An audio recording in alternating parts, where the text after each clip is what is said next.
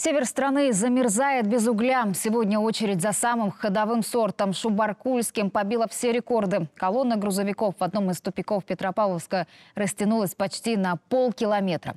Водители занимали места со вчерашнего вечера. Люди в отчаянии и умоляют чиновников вмешаться. Они уже даже не просят самого угля, а требуют взять под контроль очереди за ним. И на лопатка о битве за твердое топливо. В семье Ирины Акуловой сегодня долгожданная радость.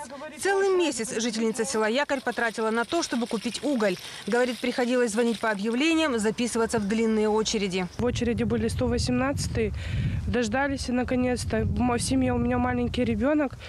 Уж- Уже много очень дров у нас, как говорится, спалилось и сожглось. Вот счастье к нам привалило сегодня. В селе у нас, получается, очень много людей, которые тоже заказали уголь. В месяц они, как говорится, в очереди. Еще вот когда звонишь, уголь заказывают, говорят, что на два месяца.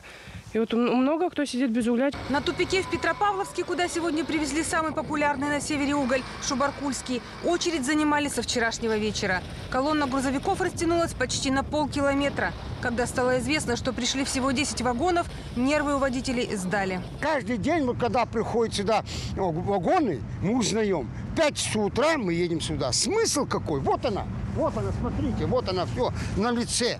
Вот, вот весь свет. Я при- а вот с Явленки, Булаева, с, Новико- с этого, с Боголюбова есть ребята. За Шубаркульским в Петропавловск едут со всех районов Северного Казахстана. В долгих очередях стоят как частники, так и водители крупных предприятий. Перебои с углем длятся уже больше месяца, говорят водители.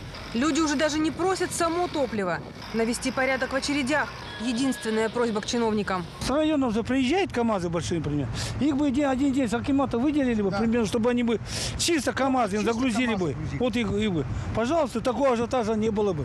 А то в шести приехали вот и, и вот тут как дурдом действительно. Они ночевали здесь команда. Да, они ночуют здесь. Чиновники помочь обещают. Уверяют, новые партии дефицитного шубаркульского угля доставят уже завтра. Пытаются навести порядок и в очередях. Была задержка с вагонами. О, этот вопрос решается. Он практически решен с КТЖ. Вагоны пошли, идут вагоны с углем. Уголь будет. Завтра также само 10 вагонов будет ставиться. Потом в понедельник 10 вагонов поставится туда же нашу Баркуль. Мы проведем переговоры с угольными по- поставщиками, тупиками, чтобы по возможности поможем на- народу. Помочь замерзающим северянам обещает погода. По прогнозам синоптиков, в ближайшие дни в регионе ожидается потепление до плюс 6 градусов. Инна Лопатка, Андрей Масан, КТК, Северо-Казахстанская область.